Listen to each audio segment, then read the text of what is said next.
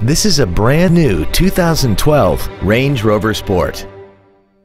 This SUV has an automatic transmission and a 5.0-liter V8.